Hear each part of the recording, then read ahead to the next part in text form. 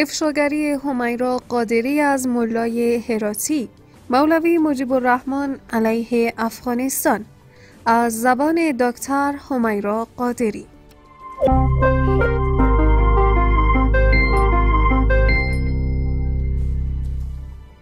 مولوی مجیب الرحمن انصاری سلبریتی تازه فیسبوک این روز هاست.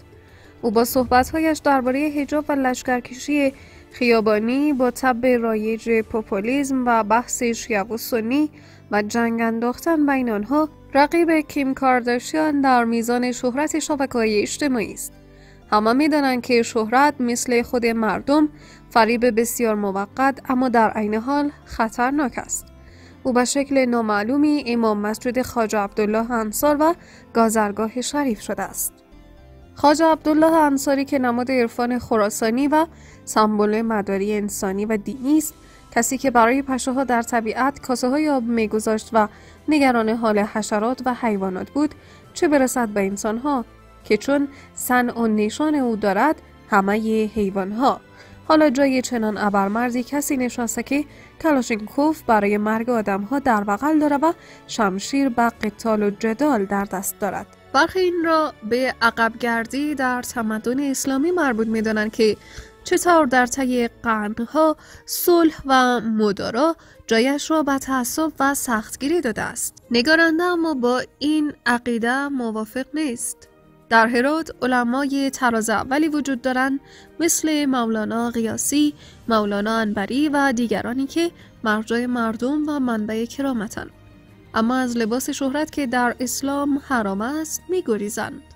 کسی مثل آقای محقق هم فرق تحصیل دانشگاه الازهر مصر هست و عالم هراتی نواندیش که خود شمع جمع روشن فکری است و امید ترقی و تمدن و احتمال زیاد مجیب الرحمن توهم گرفته تب زده و امثال وی پروژه برای برهم زدن بهداشت روان و اوضاع سیاسی افغانستان هستند اینها از اول برای سلبریتی شدن در فیسبوک طراحی شدن و بعد از مصرف ترد خواهند شد. ناگهان کشف و ناگهان گم می شوند ملای گمنامی که این روزها برای خود نصب نامه انصاری تراشیده یا برایش تراشیدن در خانقاه خاجه خوشنام هرات امام شده و دنبال دروازه ورودی بهشت در تارتار موی زنان گم شده است.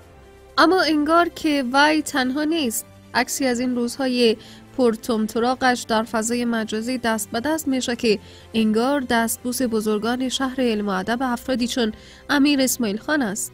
قبندانی که سالهای نخست پیروزی جهاد دروازه باشگاه های ورزشی را بر روی زنان بست و اجازه نداد زنان شهر راننده شوند و خواست تا ابد مسافر سرک های هرات بمانند. برخی این بازی مذهبی سیاسی این روزهای مجیب را به عربستان نسبت می دهند چرا که وی در سالهای گم یکی از هزار طلبه گسیل شده به عربستان بود.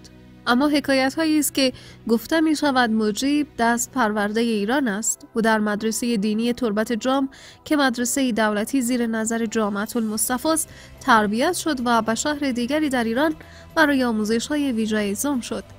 سپس وی به کشور برگشت و غیبت سقرایش به پایان رسید و باور برخی آگاهان امور که حرکات اخیر مولوی انصاری و حواشیان را از نزدیک در خطه هرات رصد می کنند یکی از دلایل این تحرکات در قالب احیای شاعر دینی و حجاب تضعیف حکومت برحال است که ادعای روشن فکری دارند. نگرانی این است که اگر انتخابات به دور دوم کشیده شود مجیب با موجی که ایجاد کرده قدرت تکفیر بسیاری از آنانی را خواهند داشت که در دورانشان زنان نفس راحت کشیدند.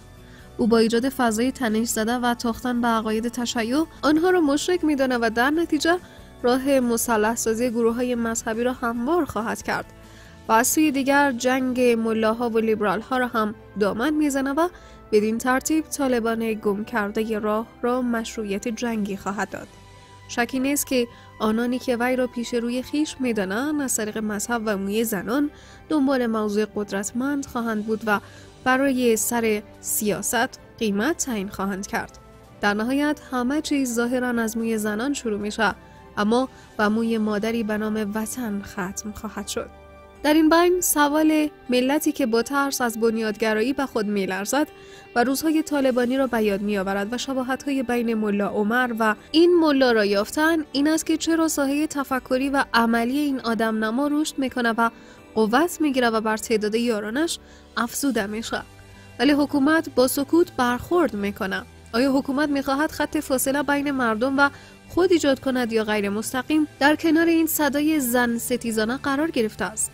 آیا زنان هرات نباید قبل از اینکه از این مولوی خود محور بترسند باید از سکوت حکومتی بترسند که با شعار حمایت از برابری نوید روزگار روشن داده بودند؟